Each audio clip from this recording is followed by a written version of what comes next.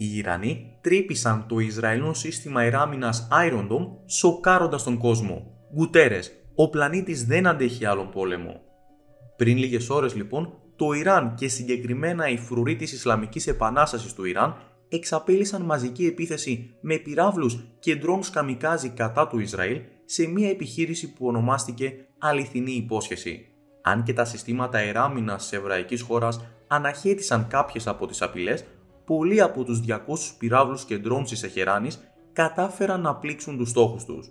Όπως και σε προηγούμενες επιθέσεις της Παλαιστινιακής Οργάνωσης Χαμάς και της Λιβανέζικης Οργάνωσης Χεσμολάχ, έτσι και στην επίθεση του Ιράν, το Ισραηλό σύστημα Ιράμινας Iron Dome δεν κατάφερε να εξουδετερώσει το 100% των εισερχόμενων πυράβλων και drones από την κοντινή χώρα. Βίντεο που δημοσιεύθηκαν πριν λίγες ώρες στο διαδίκτυο δείχνουν πολλούς από τους Ιρανικούς πυράβλους να διαπερνούν την Ισραηλινή αεράμινα και να προσγειώνονται βία στην επικράτεια του κράτους προκαλώντας καταστροφές.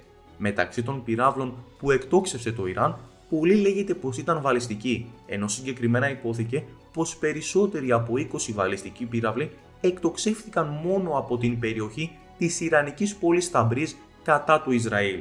Στοχεύτηκαν διάφορες περιοχές στο Ισραήλ από την Ιερουσαλήμ μέχρι και την νότια έρημο Νεγκέβ. Ένας Ιρανικός βαλιστικός πύραυλος λέγεται πως προσγειώθηκε σε πολύ κοντινό σημείο από το αεροδρόμιο Ραμών που βρίσκεται στο νότιο τμήμα της χώρας. Ο λόγος για την ανικανότητα του Ισραηλού υπερσύγχρονου συστήματος αεράμινας Iron Dome να αναχαιτήσει όλες τις ερχόμενες απειλές είναι ο εξής. Μεγάλος όγκος πυράβλων εκτοξεύθηκε ταυτόχρονα από το Ιράν και έτσι το σύστημα υπερφορτώθηκε.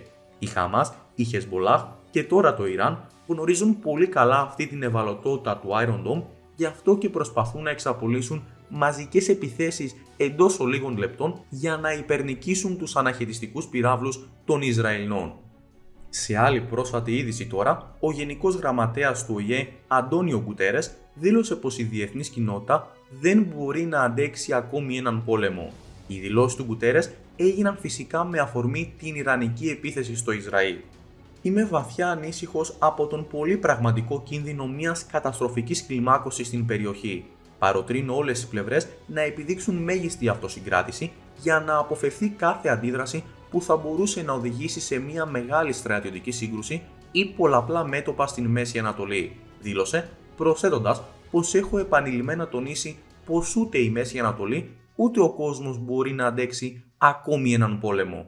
Αυτό ήταν το βίντεο. Αν σ' άρεσε, μπορείτε να κάνετε εγγραφή στο κανάλι για να λαμβάνετε ειδοποίηση για κάθε νέο. Μην ξεχνάτε να μας κάνετε σχόλια με την άποψή σας.